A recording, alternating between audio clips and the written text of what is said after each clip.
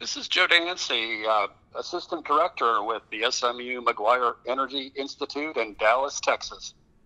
One of our favorite energy experts here at The Crude Life. Not only does he understand energy, but he travels all over the country to conferences, he gets tours. I've never met anybody that knows more about the history and the present of energy than Joe Dancy, so we appreciate him coming on the program today. Fresh back from a tour of the Bakken oil field up in Medora. Of course, you got the VIP treatment from what I understand. That's what a lot of those operators like to do in North Dakota is, is show you the really nice, you know, velvet glove type well sites, which they need to do anyways. But was that the case? Did you get a nice tour up there in the Medora area? Got a fantastic tour. And I'll tell you who I was with, with the Interstate Oil and Gas Compact Commission. It's a commission that was established in the 30s to deal with state regulation and federal regulation of oil and gas. And it's composed of uh, regulatory officials from the state and federal level, as well as executives of uh, oil companies, as well as academics. I fit in the academics end of things, uh, along with a few other uh, professors that come along with me. And we got a, a tremendous tour. And of course, Jason, as you know, I mean, one of the problems, and not problems, but part of the Bakken is up there is in the Teddy Roosevelt uh, Park. And of course, you, if you're operating wells either adjacent or next to a national park, you obviously, you know, I know you're going to be watched very closely. And I was very impressed with what we saw. The regulators that I was with were very impressed with what we saw. Um, you know, some of the issues, I mean, these are just common issues elsewhere, is obviously, you know, with electric lines, you know, you can't really run an electric line, you know, through the middle of the park. And so, quite a few of the sites, everything was self generated electricity, and they were actually what they were doing. Instead of flaring the natural gas or actually selling the gas, they were using natural gas for electrical generation to power their site and um, it, it, was it was very interesting. And I, I didn't know. Here's a couple facts that I was really sort of impressed with. This is my first time really to the Bakken. To I've been to North Dakota, just haven't been out to see the wells. And um, couple number one, the oil is a really light oil. It was 43 API, and actually, if you I sent you the link, I went out in the driveway. I, they gave me a bottle of it to take home. As a typical professor, I was asked the president of the company was given a tour, and I said, "Damn, can I take a bottle of that home?" And he was like, "Well, dude," because yeah, here's a water bottle, and he stuck some crude in it, and I got it. Uh, I won't tell you how I got it to Dallas, but it wasn't on the airplane. Put it that way. Um, I got it. Got it to Dallas, and I took it out in the driveway. And you know, most crude oil, at least in Texas, is a, a heavier type, and it's it'll ignite, but it's not very easy to ignite. The Bakken stuff, it, it was like gasoline. It it went up very quickly, and um, illustrates the fact that you know when you transport that stuff, it, you need to be concerned. Of course, it had probably some natural gas liquids in it. You have to be concerned about the flammability and you know whether you put it in a tank car or whether you put it in a pipeline. Um, you have some flammability issues. The other interesting thing is, of course, the water cut up there is above 50%, and uh, the water was 280,000 parts per million um, salt, which means it's 28% salt, which is it's saturated. And it really, he goes, when it comes up, you know, as it cools, you do have some, you know, potentially salt issues with things, you know, salting up. And, and then you, and it's 300 degrees, it's 10,000 feet deep was the wells we were at. And then the, the laterals were 10,000 feet long. So you have two miles down, two miles across, roughly. And, um, and it's 300 degrees Fahrenheit. So everything, not only is it salty, it's really hot. And then he told me, and of course, thank God I was up there, you know, this time of year. He goes, you know, in January it could be 30 below, and you'd have a blizzard out here. And we inject right on the well site. We inject the salt water because we don't want to because we don't want to truck salt water off the site because of potential. You know, when it's a blizzard and it's 20 below, you don't want a truck full of salt water going down a small gravel winding road. And so uh, but he said actually it gets so cold that the salt water will actually freeze up between the storage tank and the salt, salt and everything else. They actually they built it looks like a little garage that has the injection the injection uh, wellhead, and they said the only reason they stick that out, out there is because you know they don't want the injection well freezing up. So I was very impressed though. They did a great job, and uh, the regulators were impressed. There were a lot of good questions. Um, and it's a, you know, they did say when you have construction activity in the middle of winter, the ability to keep construction workers when you know the average temperature is seven below in January or whatever it is up there. Um, they said it's difficult even if you pay them really well. You know, the, you have a big turnover, but uh, but such is life. That's uh, you know, if you want to work, you can make good money. That was the number one concern during the downturn was retaining workers and keeping rig counts because one of the issues North Dakota has is once once a, a family leaves, a lot of times they go start a new job, maybe catch on with Walmart or you know some other distribution logistics company or something along those lines. They don't come back. It's you know it's it, they got hard winners, and uh, we're aware of that. And so retaining workers is one of the difficult challenges. The other challenge that North Dakota has, which I believe it's a challenge, um, I haven't had any government officials or uh, regulatory officials agree with me, but I think it's a challenge when over 50% of your budget is reliant on one industry. The North Dakota state government uh, has 50% of their general budget tied to the extraction and production tax. Think about that for a second. 50% of your state budget is tied to one industry. I think that's problematic, but you know, that's that's for them to decide and me to comment on, I guess. Especially when you consider the amount of DNR licenses, license plate fees, that sort of thing that's not counted in the study that was done to attach the, the general budget, et cetera. You know, there's there's been some whiffs of downturn, and North Dakota's been talking about 30,000 jobs hiring for a long time. Any uh, conversations happening at that conference about the you know, just the oil industry's ties to North Dakota as far as the the amount of dollars and just the, the sheer, I'll be honest, the sheer reliance the state has on the oil and gas industry itself. I mean, there's even some turnovers when you're talking about drilling permits, Joe. Yeah, actually, you make some really good points. The uh, the governor of North Dakota actually talked to us for an hour. He is an awesome speaker. He was, and one of the things he brought up was just what you noted: is the reliance of the state government on oil and gas revenues he's a you know was a I can't remember his his entire story, but it's a very he's a businessman type. Uh, and one of the problems, or not one of the problems, one of the things he was proud about, and I don't know whether this was a, and I don't know it was a party issue or whatever, but they actually have some new legislation. You're probably aware of it, where they're increasing the split of oil royalties with the Native American tribes, so the Native Americans can actually develop on their lands more of the oil and gas resource. And so, and I don't know the numbers involved. He talked about it. I sort of it went you know in one of my ears and out the other. I didn't take any notes because obviously North Dakota specific, and I'm down here in Texas and in Oklahoma. Uh, and I really, you know, the, the revenue structure up in North Dakota is sort of interesting, but it is but you know, you talk about a god awful beautiful place. Medora was beautiful. We stayed in Bismarck for a day when we went up there. Of course, getting up there is is a somewhat of a challenge. Some of the people from California were complaining about you know the number of planes they had to use to get to I guess Dickinson or Bismarck. But but Lord knows. I mean, when you know for six months of the year. Uh, and, and I love winter, so it's one of those deals. If uh, but I, and as you know, if you're in the oil business, there's probably no better place to really jump in. And obviously, and I, of course, working and having spent the last two years, I'm in Dallas now with SMU, but having spent the last two years in uh, in Oklahoma, of course, you have Continental Resources and Harold Hamm right there in Oklahoma City, and they're uh, he's a legend. It's a great company, and they're up there drilling up the drilling up the uh, drilling up the farm, so to speak, and. And then we got a, we also got a tour of um, the Fryburg Oil and Gas uh, Rail Facility, and they're shipping out you know every day 65,000 barrels of oil. Every um, every tank car I think is 650 barrels, and they have 100 103 cars per.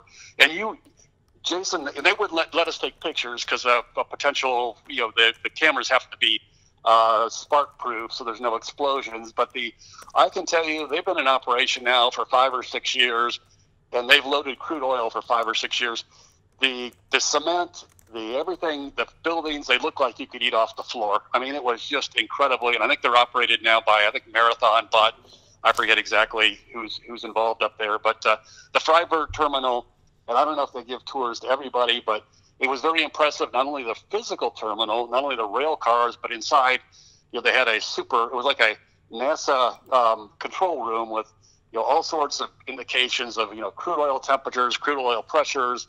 It took them it took them I think about 40 minutes uh, to load every 600 and 650 barrel car and um, they had they, they, load 18 cars at a time, and they um, it's very it's very it's a very interesting operation. And of course, you compare that to pipelines, um, it's a it's a very different operation. And I um, on one hand, I, you know, probably statistically, rail transport is more dangerous. On the other hand, they're hiring, you know, they're, I can't remember how many people they have employed there, but just to fill the train, they have, you know, three people on the cars all the time and then they were shipping out liquefied natural gas, also or liquefied um, petroleum gas and and uh, propane, et cetera, from another from the same terminal at a different loading station. So you you have you know good employment up there, and and uh, for the rail cars versus a versus a pipeline where you probably don't have as many people involved, but it, it may be statistically a bit safer. Although you can argue, I mean, you guys had that big spill here a few years ago where it leaked for several months and they're still cleaning the, the thing up. So uh, anyway, that's my impression of. Uh, and the regulators did have some concerns about you know uh, both North Dakota actually. Um, the whole industry in general, and we can talk about that if you want to go there. Yeah, I wouldn't mind talking about that a little bit for a couple reasons. One is what I mentioned earlier about, you know, we've got some bigger companies making some changes. You know, we don't need to cite Whiting every time as the prime example, but in the Bakken, it's certainly applicable because Whiting is the largest mineral rights holder in the Bakken. So they've they've went through some changes. Other companies have gone through changes, especially down in Texas. So you've got you know you've got leases that are transferring in some cases to very unexperienced companies, especially in North Dakota, getting ready to drill in sub-zero temperatures for the first time. So to me, that's a concern. Number two, much like the last downturn, we saw people having to sharpen their pens and their pencils, especially on frac sand. I mean, frac sand, I think that they had to figure out a way to make their product half as cheap and quite twice as fast and twice as quick, you know, the last downturn. And they did. Good for them. That seems like it's going on right now with innovation. The shelf life of innovation is like a year long, two years long. And then if the companies don't innovate, they get dropped for a new, shinier, better company. Do you, do you understand what I mean by this, Joe? Yeah, exactly. Actually, that's those are some really good points. I, one of the concerns about the regulators, and because these are state and federal regulators, um, they bring up, you know, we're in a very volatile industry and things are starting to slow down a little bit. And what the regulators are real concerned about is some of the properties being forcefully sold. Either you know the bankers say, "Hey, you need to sell properties to improve your balance sheet," or you know you may be going out of business, so you need to forcefully you know have the property transfers from say a larger company to a smaller company, or actually smaller company to a smaller company. It really doesn't matter. But what the regulators are concerned about, Jason, is the fact that if you are acquiring properties, um, the financial responsibility for plugging or for an environmental problem. You know, if you have a if you have uh, um, frac fluid come to the surface and you have to clean it up, you need to have the financial resources. And under the bonding um, surety type of situation they have now, you know, you may have you know one plugging bond for fifty thousand dollars or a hundred thousand dollars, and have you know ten thousand wells and obviously, if you go bankrupt or have some really you know credit issues, um, and you have environmental problems, uh, the state doesn't want to. The state doesn't want the public to get stuck with and with with wells that are not plugged or not being operated. And this has happened in Pennsylvania in the last four or five years. There's an operator that went bankrupt there, and he left, or they left uh, hundreds of wells that were unplugged. Actually, it happened, I think, in Wyoming also with the uh, coal bed methane wells where where uh, a small operator got a hold of you know thousands of these wells and ends up the state of Wyoming, as I understand, you know, got stuck with twenty million dollars with a plugging liability. Um, so on the other hand, the regulators understand the business and they said, you know, we don't want to jump in, Joe, and tell people, you know, you can't sell properties and you can't buy property because that's part of the business. I mean, you, you and I, if we both were operating up in North Dakota and, you know, depending on where our acreage is at, you and I would be probably swapping acreage or swapping wells because, you know, you know, you have five well sites and you could, if I send you my 10 well sites and then you have out acreage where I'm operating, I'll buy five of your well sites and we'll just swap the acreage. You know, those type of deals, they happen all the time. And that's why, you know, you get landman, you get right away agents, you get companies, the finance people, all the lawyers, you get, get them involved in all these transactions. And, uh, the, the regulators don't want to stop in. They don't want to stop that because they realize how dynamic it is. On the other hand, you know, if you are if you are unloading some you know marginal properties on someone who really is irresponsible or can't I won't say irresponsible, but they can't be responsible because they don't have the capital structure to operate correctly. You know, that creates some real issues for them, and so they're all scratching their heads as to what the heck to do. And they, this has been an issue the last two or three years, but it's becoming the voices are getting a little louder because rightfully or not, they are looking down the road and saying, gee, things seem to be slowing down a bit. And of course, you look at the drill, the rig count nationwide is down like 12%, which things are slowing down a little bit. Um, and I don't know where things are going. Of course, natural gas prices too are really, really low. And that's an entire other issue with regard to flaring up there and how well industry has responded. But uh, so that was some of the some of the concern. And and even your talk about the or mention about the technology, you know, the we got a tour of the Taurex uh, um, drill bit company in Norman, Oklahoma. They sell drill bits nationwide. I actually taught a course uh, up at Oklahoma City University College of Law for a week long course, and I took them down to this Taurex plant. And each bit on a lot of these unconventional plays is custom designed, and they said essentially the technology lasts. It's like a race car. It's like it lasts six months to a year, and then it's like you know you you're like putting on fins and, and, and spoilers and everything else, and then competition you know figures things out and makes their drill bit a little bit better, and then you got to go back and.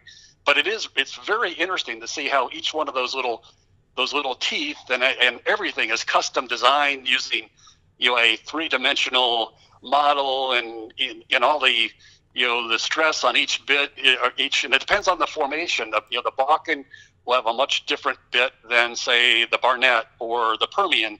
And they're all custom designed. The joke was they told me I, they're worth each little each little uh, disc in there the diamond cutters like $250 and there was like dozens of them. And so they were they the bits I don't, they didn't tell me what they charge for them, but it's expensive. So they told me I could take one home if I could lift it in my trunk. And obviously that was the joke because there's no way in hell you can lift you can lift a, a drill bit into the trunk of the car by yourself. So anyway, it's a it's a fascinating industry. So that was their that was some of their main concerns. So let, let me just ask you point blank then, without speculating, because that's not what we're trying to do here. Um, I have seen some similar signs to a downturn than from where we had the last time. But it certainly seems to me like people are more prepared and are accepting the signs much more than last time. And I'll pre-qualify that a bit bit further by saying the last time the downturn came, there was about a year where people spent just being positive I, I, call it gaslighting themselves, where they were just saying, "Oh yeah, we're remaining positive," and I'm thinking, we got thirty dollar oil for like six, eight months straight here. This, we, it's it's it's time to say it's a downturn or it's it's here. You know, low low prices.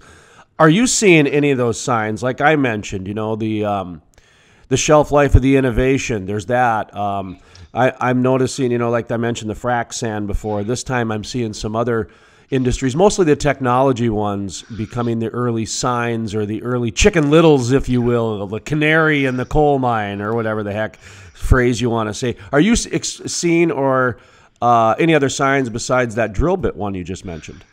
Yeah, yeah. Actually, the um, a couple of them are the the drill. The uh, rig count is down like twelve percent from a year ago. The Taurex bit plant, they told me, they said essentially it, it sort of the drill bit market follows the drill rig market, which makes sense. And they said things orders have slowed down for them, and they said actually they said they haven't had any layoffs, but when people leave, they're not replacing them at this point just because they, you know, they've been through a they've been making these bits now for at least 25 years, so they sort of see the uh, see the industry. And of course, as you know, I mean, you just mentioned oil prices, but natural gas prices. I mean, you talk about brutal. I mean, gee, it is it is it's tough to make if you're drilling for natural gas, boy, Lord help you, because it's tough to sell that stuff and make any money, even when you're really efficient.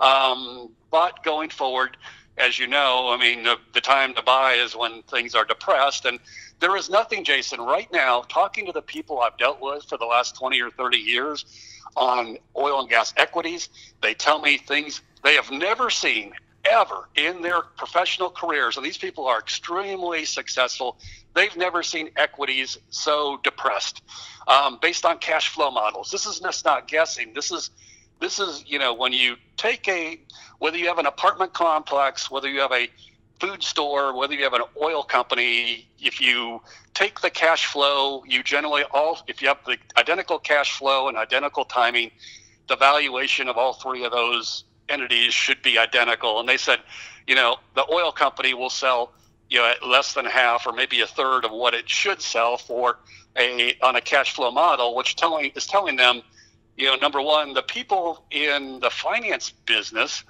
in New York or wherever they're from, um, number one, are heavily discounting the oil and gas business, and they think that all you have to do is go up to North Dakota, put a well in, and you get a to 2,000 barrel a day well, and we can maintain the oil and gas production going forward um, for as far as you can see. Which which is this is the explanation I'm hearing anyway from people, and um, or the other uh, other explanation is we're going to get in a big tr- trade war with China, and the economy is going to go backwards, and no one there's going to be no demand.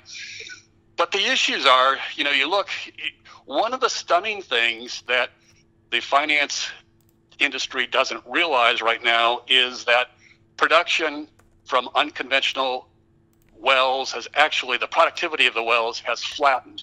And the, actually, the growth in production has slowed way, way down. It surprises a lot of people. And actually, Raymond James just put out a report, as well as the Energy Prospectus Group out of Houston, just put out you know reports that you know essentially what they're looking at the data and they're saying, oh my God, you know we were you know last year we had and I forget what the increase of you know 1.7 million barrels per day or whatever increase in production, and they say this year it's going to be a fraction of that because the the well productivity has declined. And one of the reasons is, at least this is a speculation. I'm, I, I tell my students, I'm, I'm sort of like a parrot. I listen to all these experts that come into my class or elsewhere, and then I parrot, you know, whatever they say if it if it sounds reasonable. What the experts are telling me, and these are engineering guys that have been around for a while, is that when you drill a parent well, it's a parent-child issue where the fracking is getting so good with stuff like the sand that you're mentioning, the sand, the water, the frac fluids. They're just the first well is just breaking up the formation so well underground that, and when you produce it for a while, you're sucking all the pressures out. So when you drill the child well, the child wells are coming in very, very disappointingly. And I've I've seen this, you know, not only from the experts I see, but at the Society of Petroleum Engineers student chapter up in Norman, uh, we had some speakers come in from um, from one of the local uh, SPE uh, chapters and actually presented their professional papers on the parent-child well. It actually got on the front page of the Wall Street Journal which is interesting because they actually picked up the concept from some of my LinkedIn posts and called me and talked about it. And then, of course, they write a huge article and you know they didn't mention you didn't mention our student you know presentation or myself and it uh, or the other people that I referred to, but they but they did point out the problem. They did a great a great job of it. Uh, you know, the wells are starting to disappoint, and if when you know you look a year from now, if production is substantially like you know 75% below the growth is 75% below where they thought it would be. I mean, people may start paying attention and say, gee, we're using a million to two million more barrels per year of oil globally. We thought we are going to get a million to two million barrels more from North America unconventional. We only got 300,000. Is that a problem? Well, it's a problem, but if it, it, it can fix itself with the economics. And so I agree with you that things are slowing down right now, but I and it's going to it may take a year for people to realize this, but at some point, the cyclicality will go. You know, we'll see the correct price for oil. I think to maintain production is somewhere between you know, 55 and 75 dollars a barrel. And just by the way, the Raymond James report predicts that we will see 75 dollar a barrel oil in the fourth quarter, and also going into the next year. They're they're they actually project the first and second quarter that oil prices will go up into the you know ninety dollar or so for a for a period of time. Why why the industry catches up. And as you've noted, one of the problems with the cyclicality is, you know, to get the skilled people up up in North Dakota or anywhere, you know, you you don't hire them because you know, we have our drill counts are down. Then all of a sudden, you know, you want to add two more rigs and a bunch of completion um, crews, and the people aren't out there. And so, uh, anyway, it's a major issue. Well, this is where the crude life, you know, brings in the big bucks because we like to bring in experts like yourself and other people to remind everybody that th- these interviews can actually be useful in your day to day life. So we're going to take a step back here. And what you mentioned earlier is right. The rig count is down, so of course the drill bits are going to be down. So if we take that and flesh it out through the entire supply chain, you're looking at safety instructors, you're looking at engineers, you're looking at all, I mean, go through it. If you're involved in the oil and gas industry and the rig count is down, that is eventually going to impact you. So it's, it, it's important to take a step back every now and then and say, oil and gas is one of the kings of the economy. Oil and gas is one of the things that does make the economy go. In fact, over the last 10 years, the oil and gas industry, actually it's 13 now, the oil and gas industry, the mining industry is the only industry that's added jobs. So it's the only reliable one. Yet when you've got a down spike in rig count, eventually that's going to work its way down to the, like I said, the safety instructors, the engineers, the cafe owners, the truckers. It might take six months. It might take four months. It might take eight months. But what, what, just your comment on that, you know, the, the ripple effect through the supply chain. Yeah, exactly. And I will say something though. It is interesting. I've been out to Midland. Of course, I've been driving around Oklahoma too. The uh, the truck traffic from the oil field, at least in the you know where I was over by Medora, did not. They, you could see the trucks, but they were nowhere near the frequency and the levels that you see here in parts of Texas and parts of Oklahoma, and and certainly in Midland. In Midland, everybody's driving a truck, and it's or a white pickup truck, and you know, I, I, I have gone out there and, you know, Lord knows, and they're not small trucks. All these, you know, they're hauling the equipment around or the crude or the, and it's uh, quite intimidating. But it was, I felt very comfortable. Um, of course, I wasn't driving either. We were all on. They bust us all around all these places, and um, but this, I felt very comfortable, you know, on the roads up there. That, uh, but actually, I did drive up there. I drove. I drove from Bismarck, which is a beautiful city, by the way. Uh, uh, over to and actually stopped in Mandan, which is interesting. They they by the railroad uh, they had some environmental issues years and years ago, and it's part it's in my textbook, and so I had to stop and take pictures of the Mandan rail terminal, and they actually had some leaks underneath the city there, and they actually fixed them very uh, efficiently by drilling some water wells and actually pulling the the product out and separating it and reinjecting the water. It's a it's a great environmental story as to you know, finding a problem and then fixing it. And it's, like I say, it's been in my textbook, and now I finally got to visit the, I got to visit the site of the, the site of the um, remediation, which was pretty cool. But uh, in any event, just uh, going back to the trucks and everything else, it is, it is, there is a, it's sort of like a traffic jam where the, you know, you things slow down and hell, everything slows down, and it creates. The problem is again when you speed up, it's difficult to get good people that are experienced that'll stick around once once you need them. And uh, yeah, Lord knows, I think we will need them. You know, probably in the next couple of years because if Raymond James is correct and the Energy Perspectives Group is correct and a few other people I follow are correct, you know, the the prices may weaken. As you know, just for a number of reasons over the next six months to the year, but then they'll turn around and, and if you look at the volatility of oil prices and gas prices, um, you know, both of them. Uh, boy, it's it's hard to make decisions in this business, Jason, because you're you're spending five million dollars to drill a well or ten million dollars to drill a well, and you don't know whether the price of oil is going to be thirty dollars or hundred dollars, and you got all sorts of smart people telling you both. well, you got you, you know guys like you and I talking. It's pretty exciting. To, I mean, as a as a someone looks from the sideline, it's pretty darn exciting. I have Dr. Loren Scott on our program six times a year, and he mentions every single time. And by the way, he helps some of the top countries and, and companies in the world with oil and gas and economics. He's a professor, Irmita, uh, how do you pronounce that? Irmitata, Irmita, uh, E M I T E R U S. Anyway, uh, emeritus, emeritus. Yeah, okay. Thank yeah, you. He's a, he, that means he, that means you're like a super expert. Yes, yes, and that's why I didn't want to mispronounce it because you know. By the way, folks, it's like 6 a.m. here where Joe, Mr. Joe Dancy and I are doing the interviews, so we're, we're both having our morning coffee. But uh, he's professor of economics at Louisiana State University. In fact, he helps write Louisiana's budget um, for the, the you know for the for the state. He says all the time, the oil and gas industry projecting oil prices in the economy is the hardest thing on the planet uh, behind predicting the climate. so he, he says, you know, that's two of the hardest things on the planet. And here everybody thinks they've got it figured out. Well, there ain't any way to figure out either one of them. So, uh, you know, I mean, there's no model that you've been able to even be correct for five years on either right. one of them. So, anyway, uh, I did want to mention something, though. Uh, we, we, we talked a little bit, or you mentioned um, that Raymond James is projecting the possibility of you know seventy five dollar oil. We'll just say that. I I I'll tell you what. I'll put my conspiracy hat on and my coincidence hat. I love a good conspiracy and I love a good coincidence. Um, that that timing would actually seem about right for when the industry flat out came or came out and said, "Listen, guys, we got thirty thousand jobs available in North Dakota alone. We got fifty thousand jobs down in the Permian." Just waiting for anyone that wants to go back to school. But they didn't say this. You got to go back to school for one to two years to get certified under this new technology, this new regulation, this new innovation. And guess what?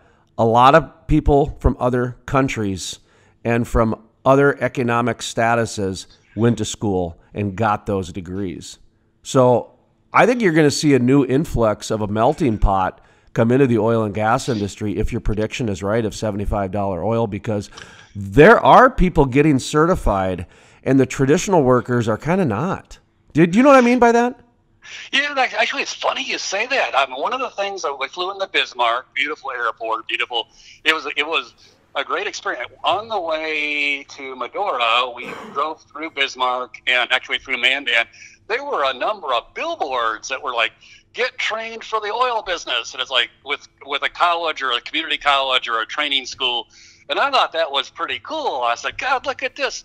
You know, you get off the airplane and they got billboards looking for people to go to work. And, you know, and of course, they, it's a, the educational institutions are, I assume, are probably, you know, obviously trying to recruit people, but also that I'm sure the industry is, is working hand in hand because you don't, you don't put out work you don't train people for a year or two at whatever school you're at and if they can't find jobs your your your program doesn't last too long but just talking to the companies et cetera and just as we've talked you know to get skilled people you know if you have a training facility or a training college there um, and it looks like North Dakota does an excellent job on higher education with regard to, you know, whether it's whether it's colleges or whether it's just uh, uh, trade schools. Um, I thought that was pretty cool, and it just told told me you just don't even in Midland, you don't Midland, Texas, you don't see you know billboards, you know, go to school and you know get a job, and it's like it's pretty much. I should have taken a picture. That I sort of, you know, I sort of pinched myself. I was like, God, I should have pulled out my phone and took a picture and like, God, you guys aren't gonna believe this.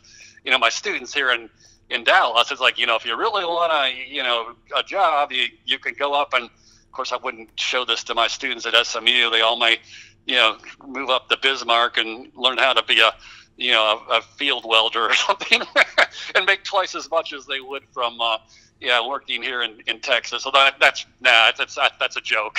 um, in any event, it's it, it was very.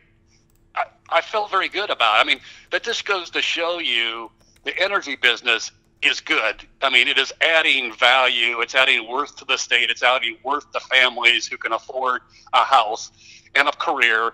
Um, although it's a cyclical career, I mean, and that's the, one of the problems with our industry is, boy, if you're young, you just got to realize you know, you're going to be laid off several times in the, in the cyclicality, but you just have to develop, continue to develop your skill set. And if you have a decent skill set, you can, like anything else, you know, if you go work for Ford or General Motors, you're not going to work for them your entire life either. It's it's so cyclical.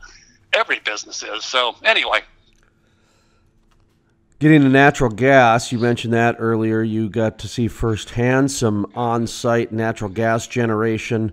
Of course, you know North Dakota has not hit its flaring numbers in, in, in, a while. In the Permian, they're you know, I think they're giving it away or paying people actually to come and take it. So natural gas is an issue, but there are solutions out there.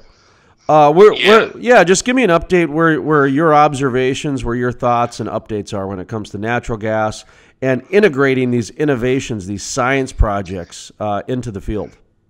Well, let me uh, let me tell you some of the regulators. I sort of you know you sit there and you know, we had the governor of North Dakota. We had all the high level regulators from North Dakota there. We had the railroad commissioner from Texas, the Oklahoma high level regulators. And they say, you know, the flaring has decreased substantially in most areas. And even though you're flaring, you know, less than 5% of the gas, it is so visible. They said, you know, Joe, for an industry standpoint, even though the economics may really hurt you, it may be better for these companies to shut the wells in versus flaring because the public goes nuts, and they should because they go by on their highway and it looks like you know it looks like the what the the Bakken is nowhere near as bad as the Permian Basin.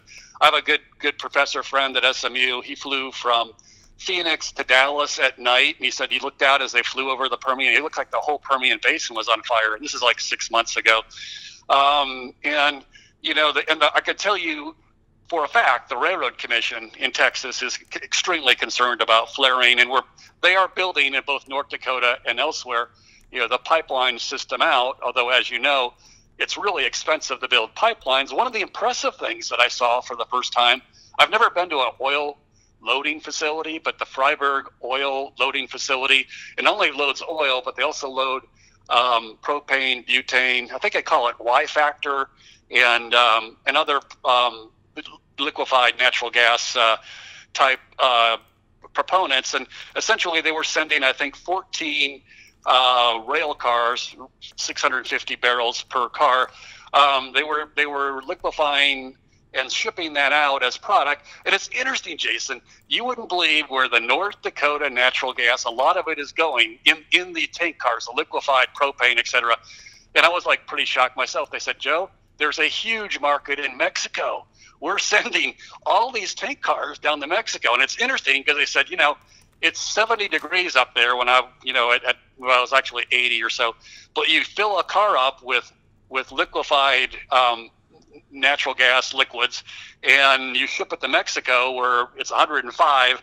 Um, they they actually underfilled the cars to a certain extent to take in account the different pressures because they said obviously we don't want to fill it totally full and then it gets to Mexico and gets overheated and you have you know you have the pop off valve come off and you're you're shooting you're losing product as well as you're polluting the environment but they said there's a, a large and growing so they're shipping from you could hop on that rail car in theory you know and be a be a hobo or whatever and actually ride they go actually the the, the, market demand in Mexico for natural gas in these tank cars, the natural gas liquids, the propanes, the ethylenes, or whatever. The I'm not a chemist. I, I didn't write all this stuff down, and I should have when the guy was talking. But uh, and they said, and they also said, they said, you know, some areas there are some people in the United States that use the. And they said we can we can odorize the natural gas liquids that are are used if it needs to be odorized right there at the site in Fryburg, um, North Dakota or you know most of the most of the people odorize it themselves so they you ship the propane down to mexico and then they take it off the car and they odorize it right there which i thought was real interesting and they said we can they can actually you specify you know we want you to put in you know so much odorant per i don't know how they measure odorant but apparently there's different levels and i thought that was all pretty fascinating and of course it's all safety controlled and they have operators up there and they have all sorts of um, again, and it's way out. You know, they have like it's way out in the country. So if there's any explosions, there's any fires, there's any lightning strikes, um, they told me, like I say, you know, anybody pulls out their camera, you know, they'll break your arm because your camera is not not uh, explosive proof. And so what they did for me, because I said, look, I'm a professor, I'd like to show my students this. They said, hey, you know, we've taken some pictures for some of our internal, and they shipped me some pictures. And you'll you'll get a kick out of this, Jason. I was going to show my I'm trying to show my students this, these pictures this month, but they showed the pictures they took and they sent me as as what stuff we look at is like there's like a foot of snow on everything. And I, am sure when I pull it out tell them, yeah, I was up there two months ago, and here's the Fryburg rail terminal, and it looks like it's you know snowing in in August. Uh, they'll get a kick out of that. But uh, anyway, it was very it, it, was it was very interesting. You know the. Uh, crude life we've been talking about that uh, natural gas market down in mexico for three four five years i remember lee tillman talking about that, uh, shipping them those molecules down even to South America. That south of the uh, U.S. border is just salivating for our natural gas. That's one of the reasons why a year ago we just started pontificating. You know, what would a world look like if we said, let's let's take some of those solar and wind subsidies that we've been giving that industry for 40 years, and they've been missing their own benchmarks, their own milestones. So this is not a political thing. This is that they've gotten 40 years of subsidies. They have not made either one affordable for the average consumer yet. So what would happen if we shifted some of those uh, those solar and wind subsidies to natural gas, which is a clean energy as well, and there's an abundance of it, and maybe some of these you know crazy guys that are living at well sites making energy on site while their families, you know, sacrifice and that sort of thing. What have, have you ever thought about that? You know, what would and this is not a political discussion against solar and wind. What I'm saying is that there are subsidies going towards energy. If we shifted some of those subsidies to give or open up new subsidies, whatever.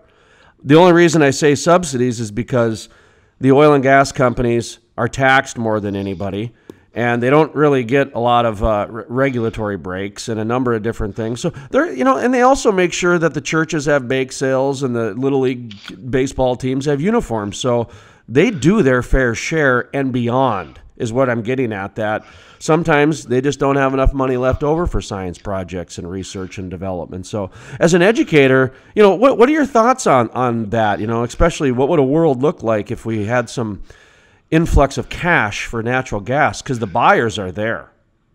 Oh yeah, well actually the um, the demand in Mexico is really robust, and I actually this is a this is a perfect lead in to when I talk. I'm trying to talk to my students today about ownership theory in the United States, mineral ownership. In Mexico, the government owns the minerals, and so one of the problems you have is the government is obviously their their analysis of risk and reward and drilling and where they drill is much different than the United States, where you have private mineral owners who can actually, you know, they have to take the risk. They can go bankrupt or they can become rich, um, or and they can use. We have the deep financial markets with New York providing all sorts of, you know, venture capital, et cetera. Actually, you even look at the Eagleford Formation. You know, I tell the the smile of the Eagleford. It's on stuck on the face of. Of this is a field, the shape of it, the, the half smile stops at the Mexico border. And uh, four or five years ago, one of my students raised his hand and said, "You know, professor, does the Eagleford stop at the Mexican border?" It's like, well, no.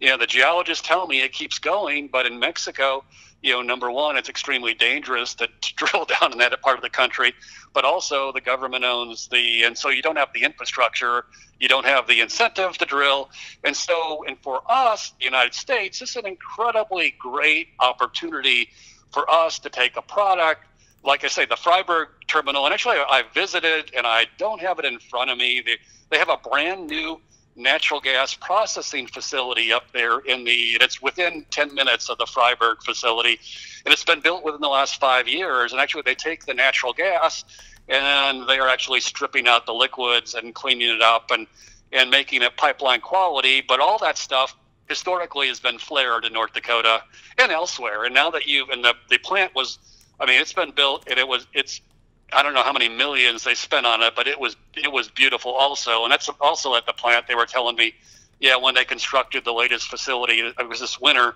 They said, you know, when it's 30 below, because you you can pay construction workers whatever you want, but they work for about a week, and most, you know, quite a few of them decide, hey, you know, I'm not going to be a, this is this is great work, but it isn't for me. And uh, and anyway, it was it was a beautiful facility. But the fact that we have this advantage, we have the private mineral ownership, and we have the ability. And right now, you don't even need to put a pipeline in with these liquids. And I hadn't thought about this. You know, you stick them in a rail car, and you could take that darn rail car and actually, I don't even know if you, I, I know some areas they used to be able to take rail cars and you put them on a barge and you could actually, you know, barge it, you know, across the ocean. Of course, Mexico were connected, but I mean, if you if you took those liquids, I guess you could unload them into a into a ship and and ship them from Houston or wherever, uh, uh, California, elsewhere. But uh, but mainly, I mean, Mexico has is such a robust market, from what I understand, and it's growing, and the demand for energy is growing you know, the fact you can put in, you know, a, a 650 barrels of propane, ship it from Medora, North Dakota, to wherever in Mexico, and make money. I mean, you talk about a business, boy. That's a that's a. And the other thing is, I've had some experts in talk about natural gas liquids. They say historically, you either go for oil when you drill or you go for gas. Natural gas liquids were sort of like your ugly sister that you didn't want anything to do with. they said, right now, that creates some real opportunities the last four or five years because, you know, the regulators are saying you can't flare it. There's a market for it. You can sell it. You historically, the, the prices are have weakened for liquids from what I've been told. I, and I don't follow them that closely either. Um, and I really should. Um, but they, the, the people in the business tell me whether you ship natural gas liquids or whether uh, or whether you um, sell them or produce them, there is a niche, and it's very the return on investment is very very profitable. And there's only four or five companies that really specialize in that type of business, and they gave me the names. And I told some of my students after they heard this presentation, you know, if you want to go work for a niche company that's making money, it's growing. Boy, this is an area, and there's not you know, unlike the oldsters like me, you know, like he mentioned, nobody, the experts in the liquids area are not as prevalent as in the oil business or in the gas, natural gas business. So anyway, it's pretty, it's pretty interesting stuff. See, where my mind is, is I'm thinking, okay, we live in such a world where something like this could happen, where we have 3D printers. We actually have we, we actually have companies right now that are printing homes. They are 3D printing homes with concrete. Okay, so that, that that's a real thing that's happening in today's world. I mean, just think about, you know, some super plastic that you can make on the well site. You know, for, for one, you can generate power, so you can pump it right into the grid or you can use it right on your well site. Number two, you can make some super plastic, who knows, right on site with a 3D printer. You could be printing out like $500 super pools that you can put in your backyard with some, you know, that goes away. You got to remember, concrete is one of the least green things on the planet. In fact, if you look at the number one polluter in the planet, it's an argument between cell phones and concrete. So, plastic replacing concrete in some areas is not a bad thing. In fact, in some communities right now, they're using plastic for roads. So imagine if you're, you know, on on a well site, you're taking that flared gas and you're printing out sections of road right on site that the DOT is coming in and using on some of these, you know, maybe some low, roads less traveled type of a thing. You know, that right now they just got these muck roads there that during a rainstorm they can fly off at any given time. So I, that's where my mind is, is that I see the integration of different technologies right there on the well site. I mean, you've like I said, you got some crazy guy up in Canada mining bitcoins on natural gas. I mean, it, it, so if if there was some ability for people to think as opposed to reacting to how am I going to pay my mortgage next next month because I've lived at this well site for two years and if I go home, my wife's going to kill me. I mean, that's that's kind of the reality out there, and, and I, I, I look at those guys and. I don't know, Joe. I, I, look at the world, and I guess I, from time to time, it'd be nice to see somebody with some passion get their day in the sun. And right now, the energy industry right now is filled with a bunch of clever capitalists filled with passion, and they're running out of resources.